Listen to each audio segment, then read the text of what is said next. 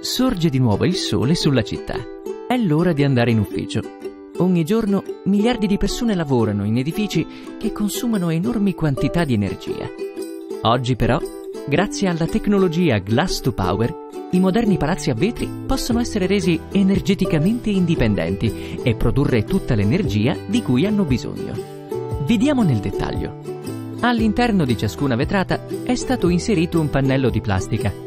Questo però non è un pannello di plastica normale. Al suo interno sono disperse delle nanoparticelle invisibili della dimensione di un milionesimo di millimetro. La luce del sole è assorbita dalle nanoparticelle che la trasformano in un fascio di luce infrarossa intrappolata nel pannello.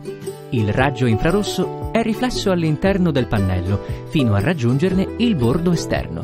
Qui sono posizionate piccole celle fotovoltaiche al silicio che lo trasformano in elettricità, la quale è immessa nella rete del palazzo tramite un normale circuito elettrico. L'energia elettrica può essere quindi immagazzinata in un sistema di accumulo o utilizzata immediatamente per alimentare sistemi di illuminazione, condizionatori, ascensori e in generale ogni dispositivo che abbia necessità di alimentazione elettrica.